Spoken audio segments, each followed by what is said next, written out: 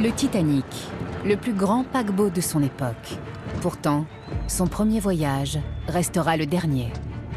Le 14 avril 1912, le Titanic percute un iceberg. 1500 passagers périssent lors du naufrage. La catastrophe bouleverse le monde entier et pose des questions longtemps restées sans réponse jusqu'à aujourd'hui. De nouveaux éléments sont apparus. Enfouis depuis plus d'un siècle, des photographies d'une qualité exceptionnelle apportent un nouvel éclairage sur l'histoire du Titanic.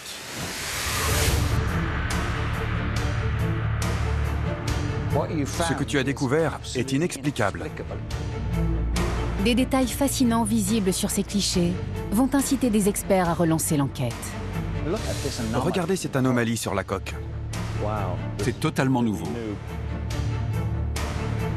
Ils vont découvrir les prémices du drame qui couvait déjà dans les soutes quand le Titanic a largué les amarres. Leurs conséquences allaient conduire le navire à sa perte. Ils ont fait un pari. Oui. Après plus d'un siècle de spéculation, C'est incroyable.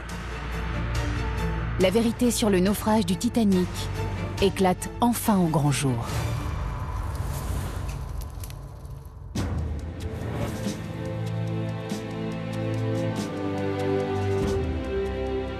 Lorsque le RMS Titanic est inauguré en 1912, il n'est pas seulement le plus grand paquebot au monde. Il est aussi la plus grande structure jamais construite par l'homme.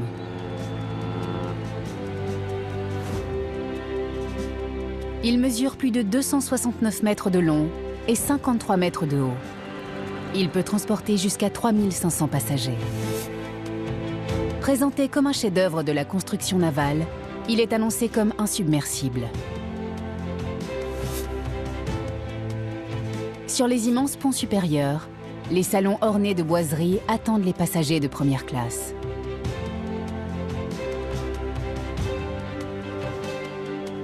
Entassés sur les ponts inférieurs, les passagers de troisième classe rêvent d'une nouvelle vie en Amérique. Le Titanic est le joyau de son époque.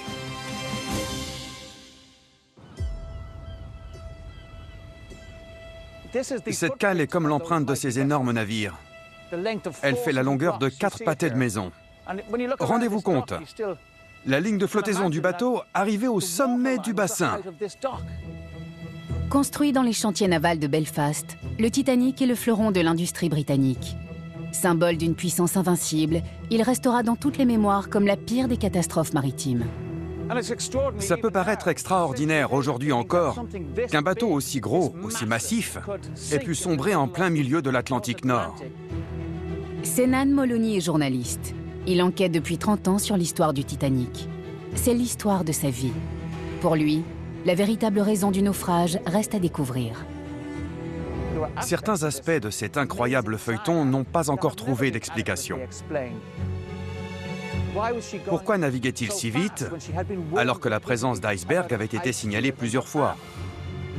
Pourquoi n'a-t-il pas ralenti? Pourquoi n'a-t-il pas fait un détour Et surtout, comment un bateau réputé insubmersible a-t-il pu couler en quelques heures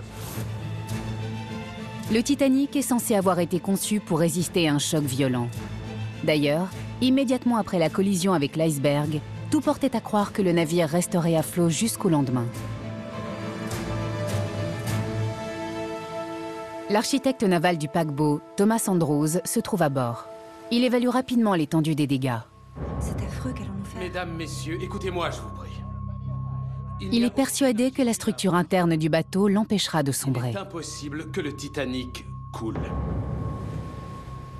Pourtant, moins de trois heures plus tard, le navire coule à pic. Mais l'iceberg est-il la seule cause du drame? N'y a-t-il pas un autre coupable? Le Titanic emporte alors ses secrets au fond de l'océan. Du moins, c'est ce que tout le monde croit.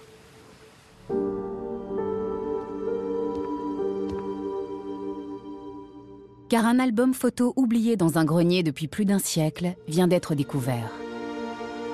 Il retrace l'existence éphémère du paquebot.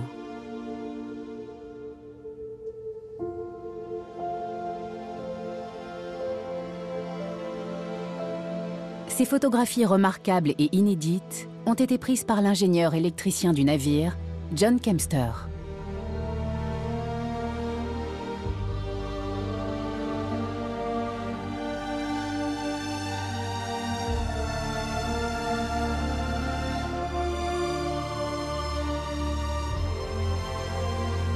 Grâce à un nouveau traitement graphique, ces images en noir et blanc prennent désormais vie en couleur et en trois dimensions.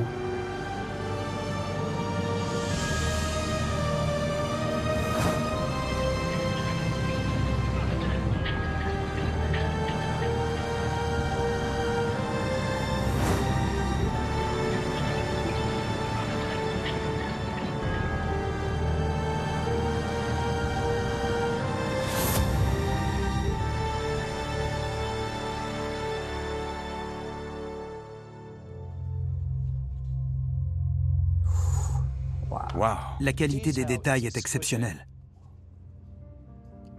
Steve Raffield est aussi spécialiste du Titanic. Il travaille depuis longtemps aux côtés de Senan Moloney. C'est lui qui a découvert cet album dans une vente aux enchères.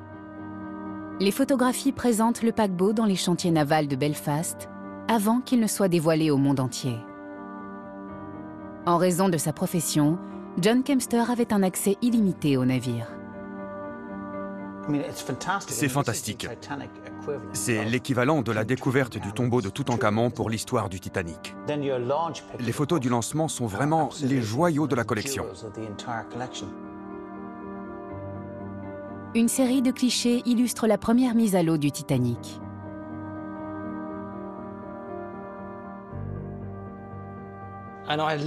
J'adore les annotations qu'il a faites sous chaque photo.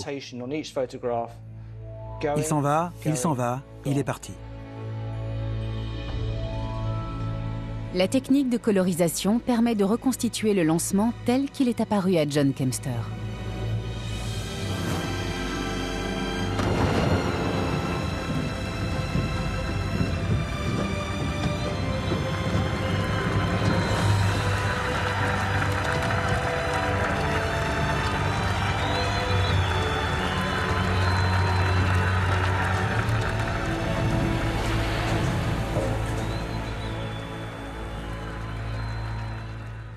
Ces images ne se contentent pas d'immortaliser cet instant unique.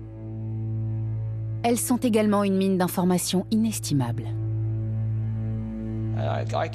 Je tournais les pages de l'album sans savoir exactement ce que j'allais trouver. Quand je suis tombé sur cette page, j'ai remarqué une trace très étrange sur la coque du Titanic. Juste là. Wow. Elle m'a paru vraiment bizarre. Au début, j'ai pensé que c'était peut-être le reflet de l'eau. Mais en regardant en détail, j'ai vu que ce n'était pas possible. Car sur la photo suivante, on retrouve la même trace en diagonale. Sauf que l'angle n'est pas le même. Entre-temps, le navire a bougé. C'est très intéressant. Sur les deux photographies, l'angle de prise de vue et la position du paquebot sont très différents. Mais la trace mystérieuse d'environ 10 mètres de long est toujours là.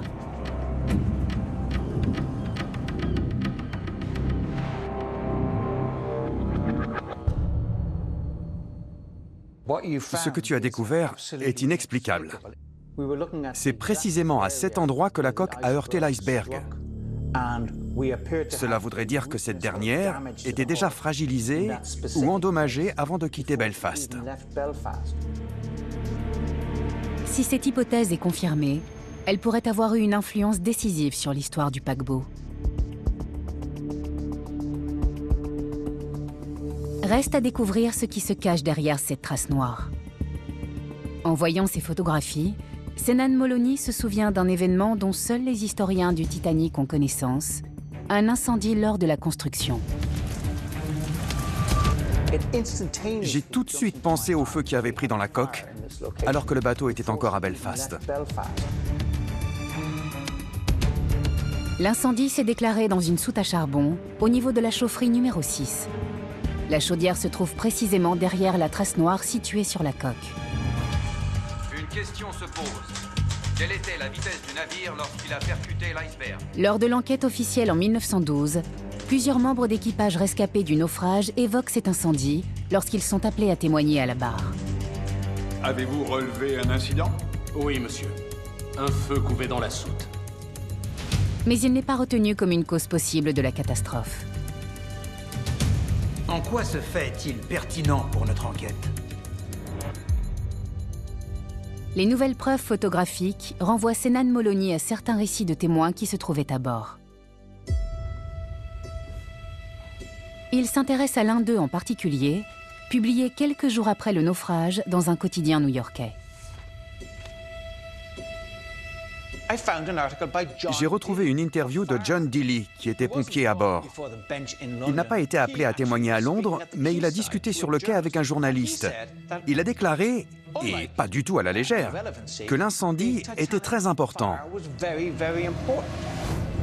Quel était votre rôle sur le Titanic? Ma seule tâche à bord, c'était de combattre le feu avec les 11 pompiers de mon équipe. John Dilly faisait partie d'une équipe de pompiers et de soutiers qui travaillaient dans la salle des machines du Titanic.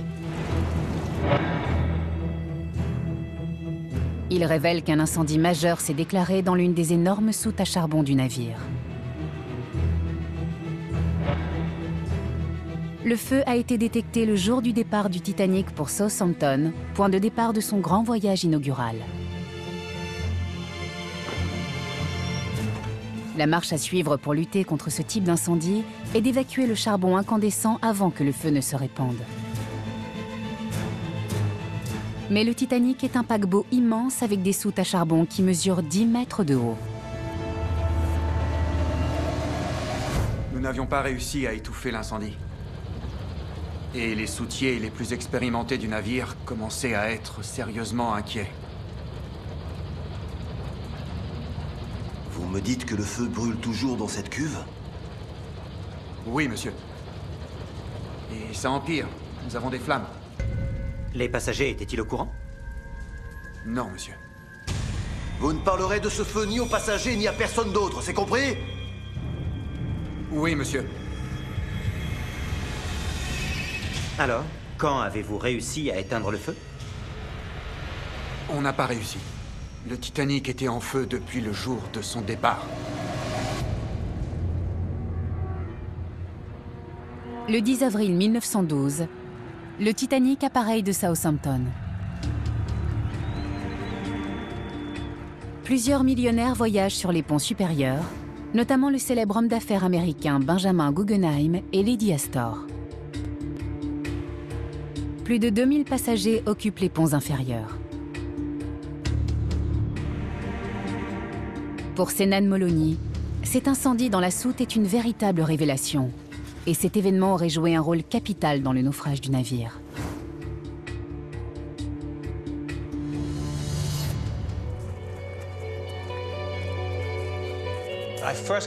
J'ai entendu parler du Titanic pour la première fois quand j'avais 10 ans.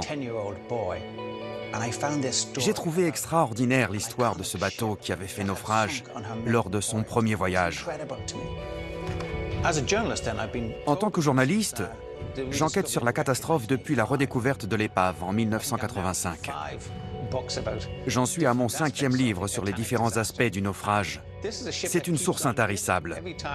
Chaque fois que je pense avoir épuisé le sujet, je tombe sur un élément nouveau qui nécessite de nouvelles recherches. Comme cet incendie que je viens de découvrir. Eh bien, monsieur Bell, pourquoi ces réticences? Vous devez savoir que nous avons un feu de cuve dans la soute 6. Les hommes sont inquiets. Je me fiche de leurs états d'âme. Vous me réglez le problème. Ma seule préoccupation, c'est de préserver la réputation de la White Star. Et cette réputation repose sur un départ sans délai.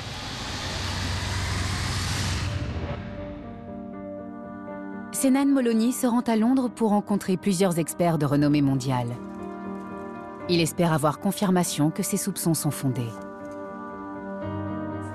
C'est ce qui m'intrigue dans cette histoire. Je n'arrive pas à croire qu'un incendie ait fait suffisamment de dégâts dans la coque pour laisser une cicatrice aussi visible. Bonjour. Enchanté. Merci d'être venu. Regardez. C'est l'emplacement d'une soute à charbon? Oui, ça donne sur une soute. Incroyable. Guillermo Rain est l'un des rares scientifiques spécialisés dans les feux de charbon. Ça pourrait tout à fait avoir été provoqué par un feu couvant. D'après lui, l'incendie s'est sans doute déclaré tout seul. Il aurait brûlé un certain temps avant d'être détecté. Le plus inquiétant avec un feu de charbon, c'est qu'il n'a pas besoin d'un élément déclencheur. Il est spontané. On appelle ça l'auto-échauffement. Pas besoin d'un pyromane ni d'un accident. Le noyau du lit de charbon se met à chauffer lentement. Puis le foyer s'étend. Et au bout de quelques semaines... Quelques semaines Oui. Quand on détecte un feu couvant dans un tas de charbon, c'est qu'il se consume déjà depuis plusieurs jours, voire plusieurs semaines.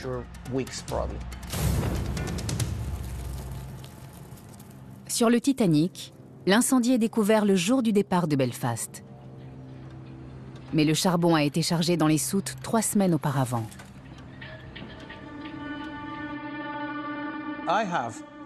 J'ai lu des récits de témoins qui ont embarqué à Belfast et qui ont vu de la fumée monter d'une soute à charbon.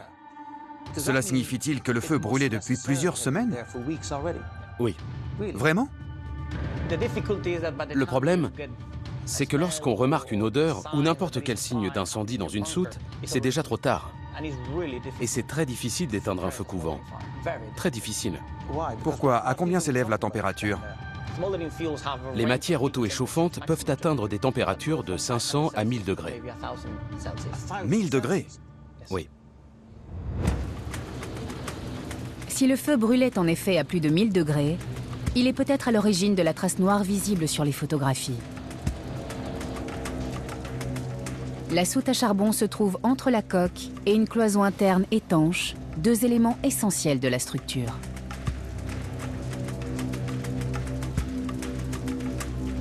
Les exposer à des températures extrêmes serait très dangereux. La chaleur peut avoir des conséquences très graves sur les machines du navire. C'est un défaut de conception? Absolument.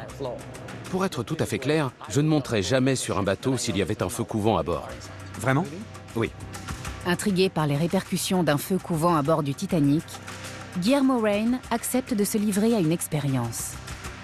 Il va simuler par informatique l'incendie dans la soute à charbon et les dégâts éventuels causés au navire. Puis il communiquera les résultats à Senan Molony.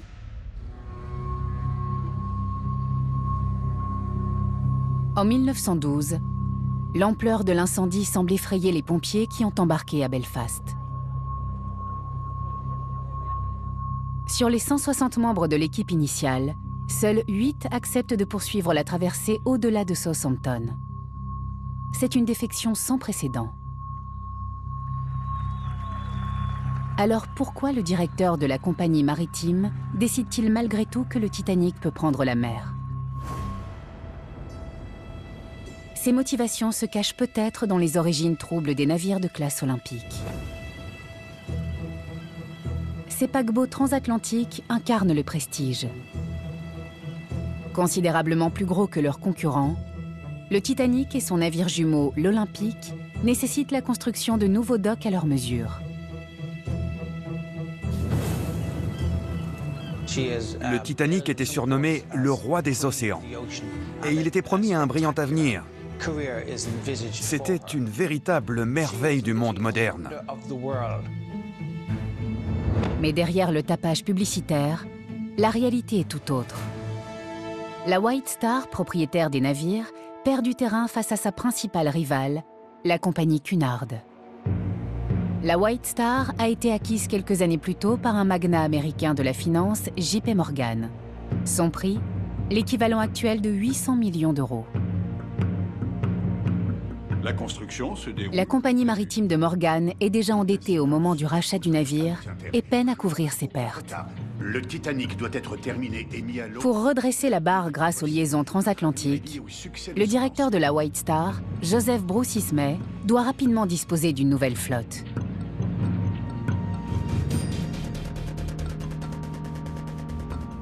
Senan Moloney poursuit son investigation et rencontre l'écrivain Brad Matson, spécialisé dans la construction du Titanic. Je n'avais pas creusé l'hypothèse de l'incendie dans la soute, car elle avait été écartée. Mais s'il y a de nouvelles preuves, ça m'intéresse beaucoup. Wow. Je n'ai jamais vu ces photos. C'est totalement nouveau. Brad Matson croit savoir pourquoi la direction a décidé du départ du navire malgré l'incendie. L'urgence financière qui motivait la White Star l'a incité à réduire certains budgets, simplement pour lancer les paquebots plus vite.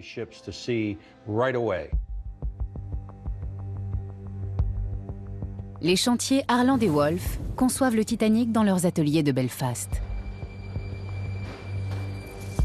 À plusieurs reprises, Ismay exige de modifier les plans pour des raisons financières.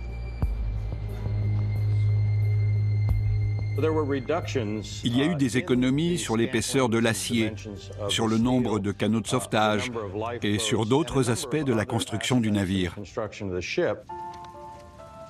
Je peux vous assurer que grâce à notre... D'après les recherches effectuées par Brad Matson dans les archives de Harland et Wolff, l'architecte naval Thomas Andrews aurait été contraint de réduire de moitié le nombre de canaux, ainsi que la largeur du plaquage en acier de la coque. De la coque. Notre budget n'est pas extensible. La sonnette d'alarme est tirée une première fois en septembre 1911, lorsque l'Olympique percute dans la Manche un bateau de la marine royale britannique, le HMS Hawke.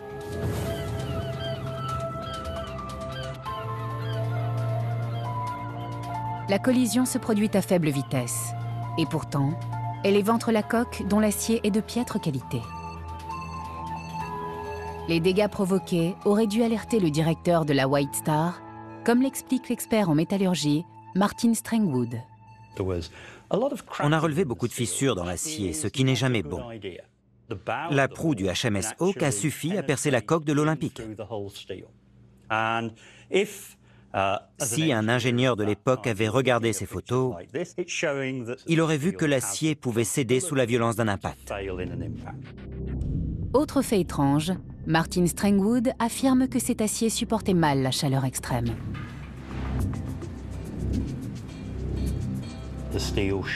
L'acier doit être résistant au feu. Et il faut donc absolument utiliser un acier très pur.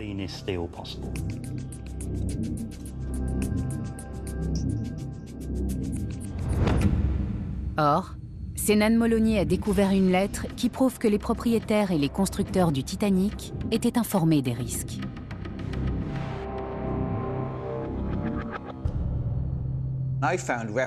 J'ai trouvé des courriers du ministère du Commerce et notamment d'un haut fonctionnaire. Il demande que le Titanic soit conçu avec, je cite, une qualité supérieure d'acier. En guise de réponse, voici la lettre quelque peu agacée de Harland et Wolff, qui affirme utiliser de l'acier soumis aux critères et réglementations ordinaires. De l'acier ordinaire et pas supérieur.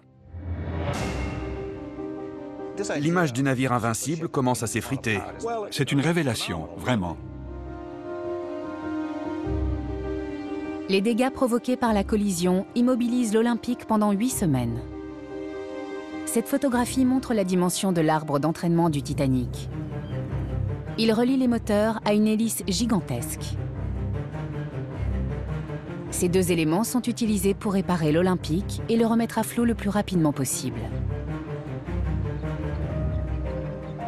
Les travaux coûtent à la White Star l'équivalent de 22 millions d'euros et retardent d'un mois la livraison du Titanic.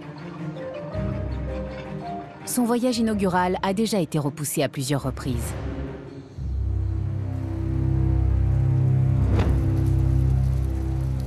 L'incendie dans la soute à charbon est le contretemps de trop. Imaginez ce que les journaux auraient fait de cette information à l'époque. Le paquebot de la White Star retarde son départ. L'effet aurait été désastreux. Qui aurait acheté des billets après ça? Sa situation financière était si fragile que pour la White Star, c'était la faillite. Combien de passagers auraient embarqué s'ils avaient eu connaissance d'un incendie dans la soute? Moi, je serais descendu tout de suite.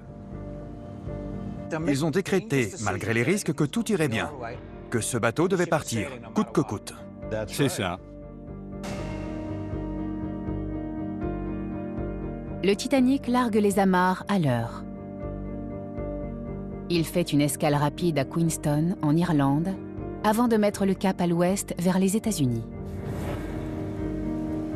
Les passagers ignorent encore que sous leurs pieds, un incendie fait rage, au point de fragiliser la coque en acier. Monsieur Bell. Oui, monsieur Andrews Un feu brûle dans l'une des cuves. Un petit feu sans importance. Un petit feu sans importance ne brûle pas en soute pendant plus de dix jours. Ce feu est bien plus conséquent, et cela fait des jours et des nuits qu'il brûle contre la structure métallique du bateau. Dans la tourmente qui suit le naufrage, le gouvernement britannique est contraint d'organiser une commission d'enquête. Les audiences ont lieu à Londres, au Scottish Drill Hall. Incroyable. Ça alors? Waouh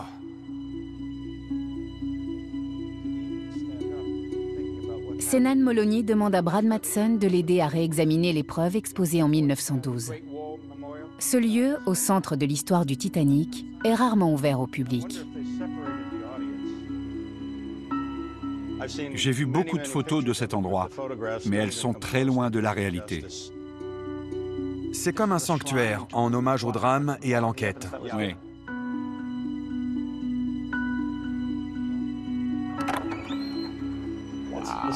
C'est extraordinaire. La commission d'enquête est présidée par le représentant de la couronne, Lord Mercy.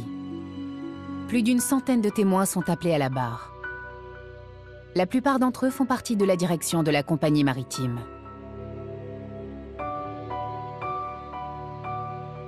Au cours des 11 jours d'audience, l'incendie dans la soute à charbon est à peine évoqué. Puis, après deux demandes rejetées, le président du syndicat des pompiers, Thomas Lewis, obtient le droit d'interroger ces hommes.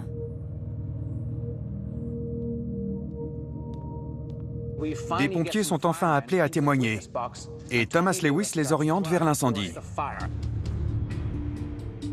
Le premier escapé à venir à la barre est l'un des pompiers suppléants montés à Southampton. Il s'appelle Charles Hendrickson.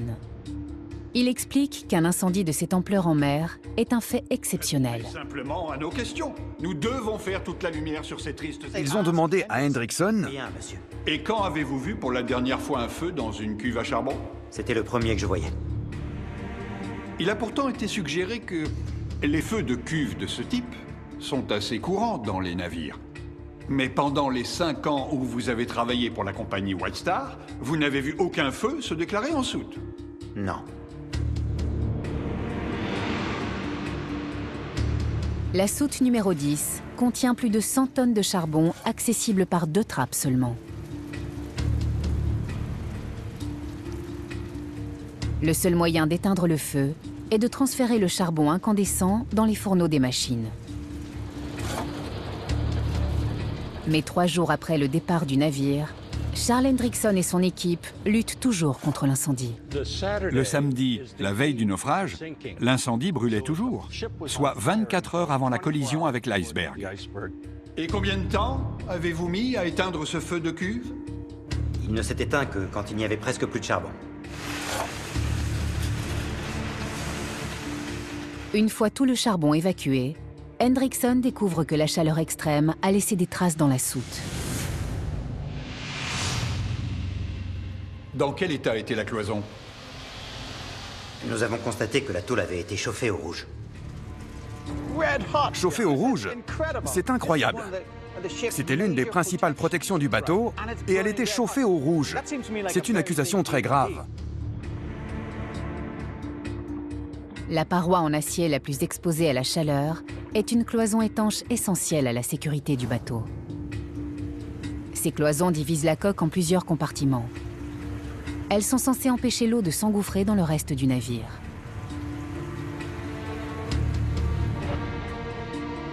Lors de l'enquête, plusieurs pompiers affirment que cette cloison était gravement endommagée par le feu. Il a dit La tôle était bosselée. Vous voulez dire que la cloison était abîmée? Oui, déformée. Elle est indispensable pour empêcher l'eau de pénétrer dans la coque. C'est incroyable. La déformation de la cloison aurait dû alerter la direction et le capitaine. Mais il n'en est rien. Une fois la soute vidée de son charbon, les dégâts sont tout simplement colmatés. J'ai brossé la tôle de la cloison et j'ai passé une couche d'huile noire par-dessus. Afin de lui redonner une apparence normale, c'est cela? Oui. Mais à quoi pensaient les officiers aux commandes du navire? Malgré ces révélations, Lord Mercy semble peu intéressé et choisit même de changer de sujet. Ce qui nous importe, c'est de découvrir les vraies raisons de la catastrophe. Il fait partie de l'entourage du directeur de la White Star. Et il est proche de l'industrie maritime britannique. Lord Mercy ne voulait rien savoir. Pour clore le débat, il coupait les témoins chaque fois qu'il tentait de développer la thèse de l'incendie. Il serait grand temps que l'on se concentre sur les éléments qui vont vraiment faire avancer notre enquête. Et un feu dans une cuve de charbon n'en est pas un. C'était une information absolument capitale. Et Lord Mercy ne voulait pas l'entendre.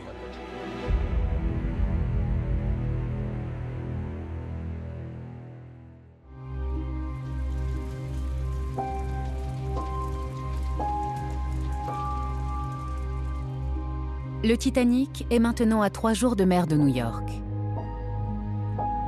Voici l'un des salons des premières classes. Seuls les passagers les plus riches ont accès à ces suites luxueuses.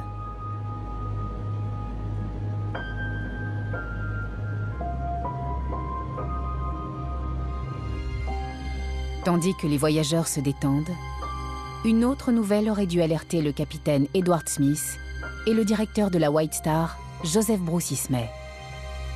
Des icebergs dérivent dans leur direction.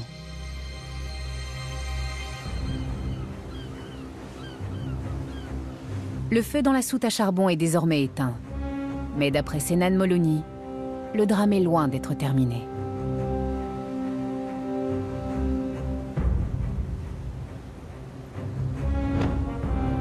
J'ai trouvé un article du New York Tribune du samedi 20 avril 1912. D'après le récit d'un officier à bord, il y avait le feu dans les soutes à charbon. Les soutes Plusieurs, pas une seule. Et ces informations sont exactes. Il parle des soutes 9 et 10, et il dit que le feu s'est répandu non pas dans une, mais dans deux soutes.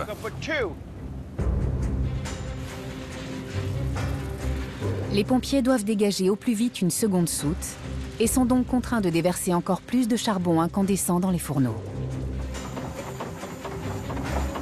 Cela pourrait-il expliquer l'une des grandes énigmes du naufrage? Malgré les avertissements répétés, le capitaine du Titanic maintient le cap et fonce à pleine vitesse en direction des icebergs.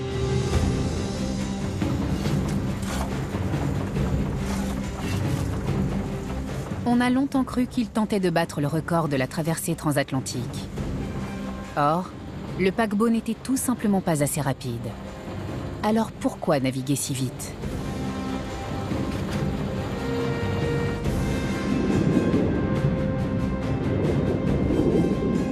Il faut sans doute chercher l'explication dans les centaines de tonnes de charbon ajoutées au fourneau à la suite d'un second incendie.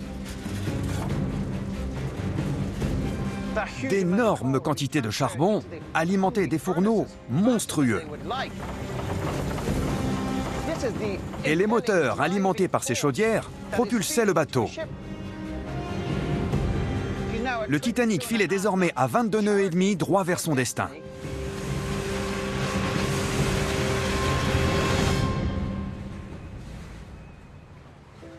Richard de Kerbreck est spécialiste des navires à charbon. L'hypothèse du second incendie le laisse perplexe. Le fait que deux soutes entières aient été vidées a-t-il pu jouer un rôle? Tout à fait. C'est un facteur important qui a certainement affecté les performances du bateau. Pourquoi le capitaine n'a-t-il pas ralenti à l'approche de la glace? Un élément capital a peut-être été négligé.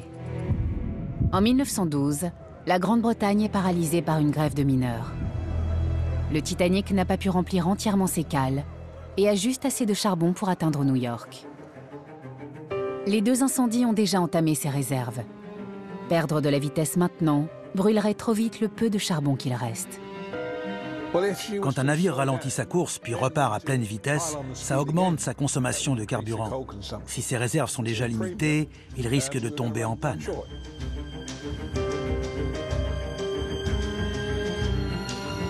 Le Titanic n'a plus suffisamment de charbon, ni pour ralentir, ni pour dévier de sa trajectoire initiale. La succession de ces événements expliquerait que le capitaine se soit retrouvé dans une impasse? Ça vous paraît plausible? C'est plausible. Il semble y avoir une suite logique.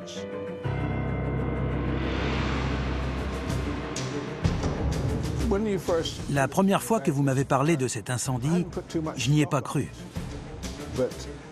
Mais quand je vois les preuves que vous m'apportez, force est de reconnaître que vous jetez de l'huile sur le feu.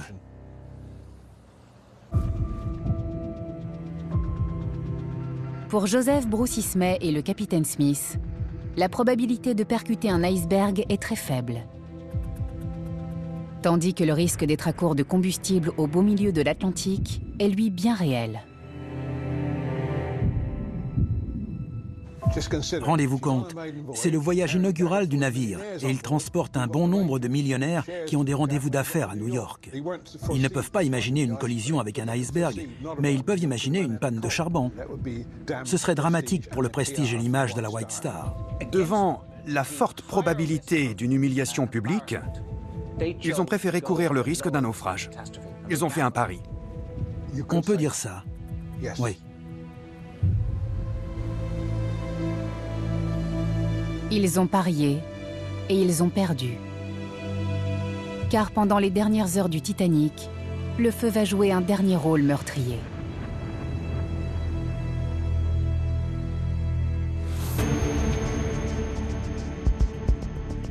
À 23h40, le 14 avril 1912, à 600 km des côtes de Terre-Neuve, le Titanic heurte un iceberg.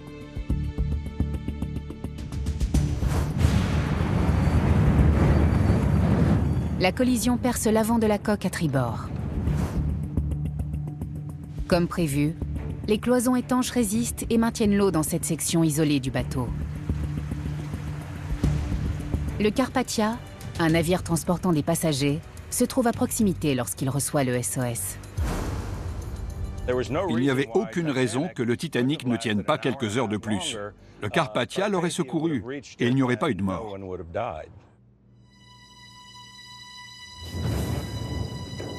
Après un premier examen rapide de la situation, l'architecte du Titanic, Thomas Andrews, semble lui aussi confiant. Je vous l'assure, mesdames et messieurs, les cloisons étanches vont contenir l'eau. Il est impossible que le Titanic coule. Mais il oublie sans doute qu'une cloison essentielle a été gravement endommagée par le feu.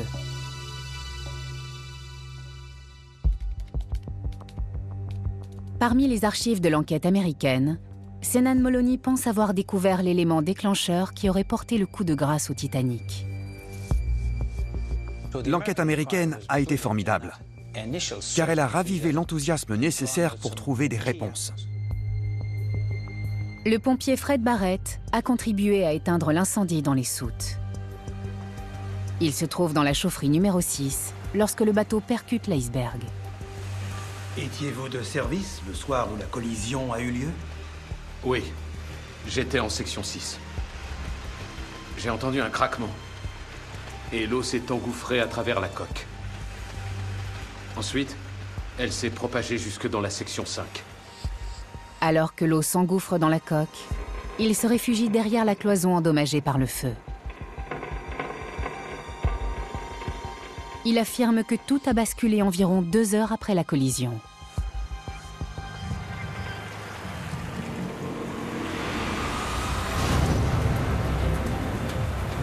un torrent d'eau se serait soudain infiltré par la cloison. J'ai tout vu. Une vague d'écume verte a arraché la coque avant de déferler entre les cuves. Je me suis accroché à l'échelle. Fred Barrett parvient à rejoindre le pont et à sauter dans un canot de sauvetage. Une fois que la cloison a cédé, elle a déclenché un effet boule de neige. Et c'est cette défaillance majeure qui a donné l'avantage à l'océan.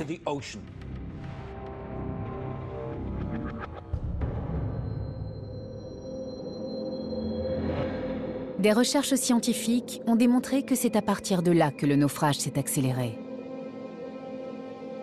En seulement 30 minutes, le chronomètre de la passerelle s'est retrouvé immergé. Fred Barrett attribue cette accélération à la rupture de la cloison endommagée. Mais est-ce l'incendie qui l'a fait céder?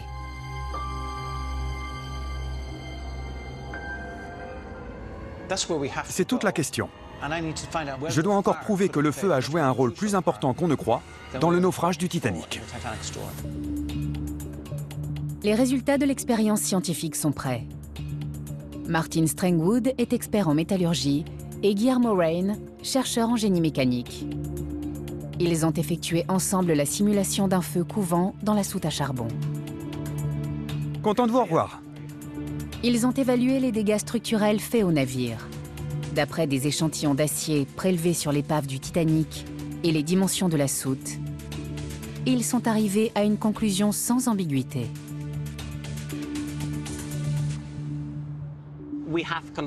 Nous avons réalisé cette simulation dans mon laboratoire. La partie la plus chaude de la cloison se bombe. Une bosse importante se forme. D'accord. Le bleu indique qu'elle se bombe vers l'intérieur. La bosse n'est pas vers l'extérieur, mais en dedans. Donc, on observe une déformation de la cloison. Elle gondole comme une vague. La simulation indique que la chaleur extrême provoque une déformation à la fois convexe et concave de l'acier. Tout au long de leur étude, ni Guillermo Rain ni Martin Strangwood n'ont été tenus au courant des témoignages découverts par Senan Molony. Regardez la cloison. Ça gondole. Pourtant, leurs résultats semblent corroborer les propos du pompier Fred Barrett. Oui, monsieur. La coque s'est déchirée. C'est absolument incroyable. Voici ce qui a été dit en 1912 au sujet de cette section de la coque. Le bas de la cloison du compartiment était creusé vers l'intérieur et le haut bombé vers l'extérieur. C'est exactement ce que nous avons trouvé. La similitude entre le témoignage du pompier et leur expérience ne fait aucun doute. La chaleur dans la soute à charbon devait atteindre 1000 degrés. Une telle température a des conséquences dramatiques sur une cloison en acier. Elle réduit sa solidité de 75%. Lorsque l'eau s'accumule, la force qu'elle exerce sur l'acier est suffisante pour le fissurer.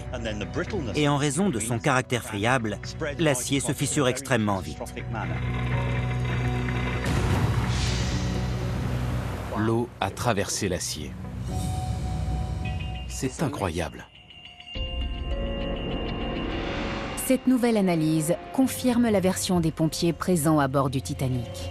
Depuis le jour même de son départ, le Titanic était en feu. L'incendie dans l'une des soutes à charbon a considérablement fragilisé l'acier. Nous avons constaté que la tôle avait été chauffée au rouge. Puis, sous la pression de l'eau, la cloison a fini par céder. J'étais dans la soute 6, monsieur. Une vague d'écume verte a arraché la coque avant de déferler entre les cuves. Cette nouvelle théorie est totalement crédible. Je suis très impressionné. Pour moi, ces recherches bouleversent notre compréhension du naufrage du Titanic.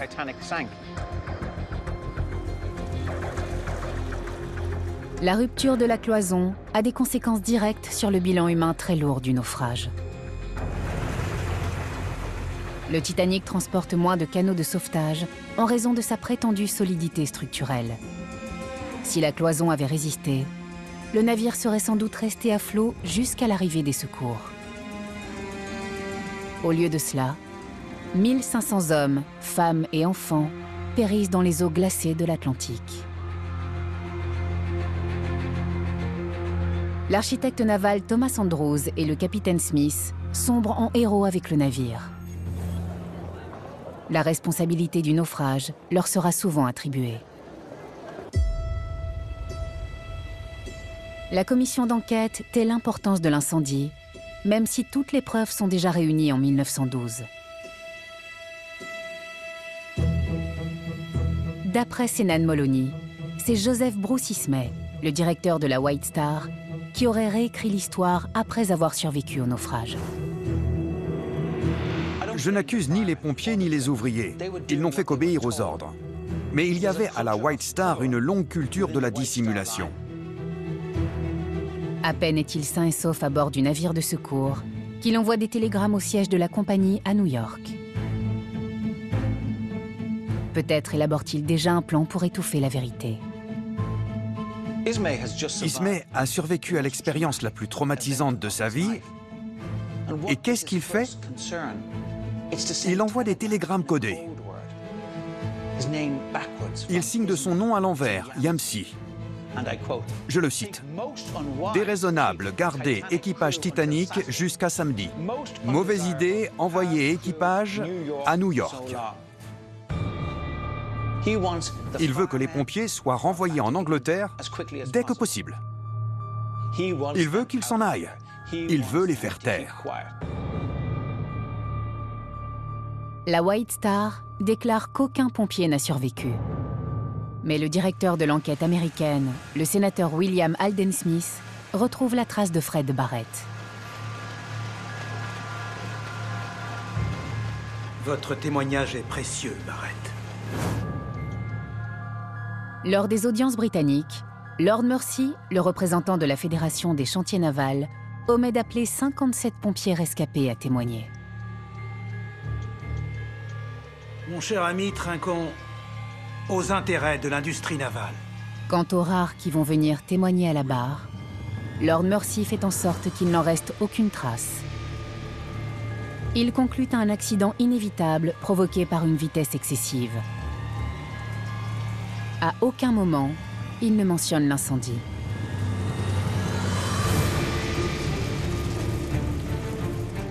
Il aura fallu attendre plus d'un siècle et une nouvelle enquête pour percer enfin le mystère.